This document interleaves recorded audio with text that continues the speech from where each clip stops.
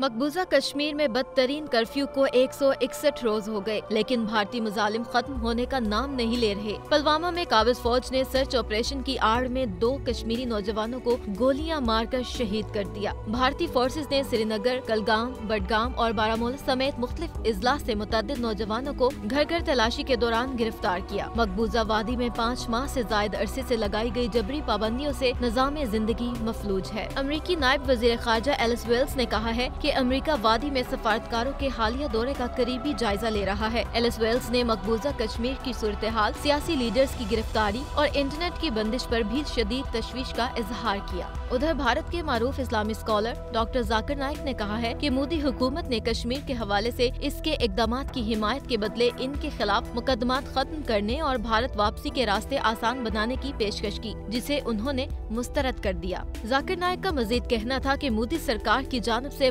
متعدد دیگر ممتاز مسلم رہنماؤں کو اپنا ساتھ دینے کے لیے دھمکیاں اور بلیک میل کیا جا رہا ہے۔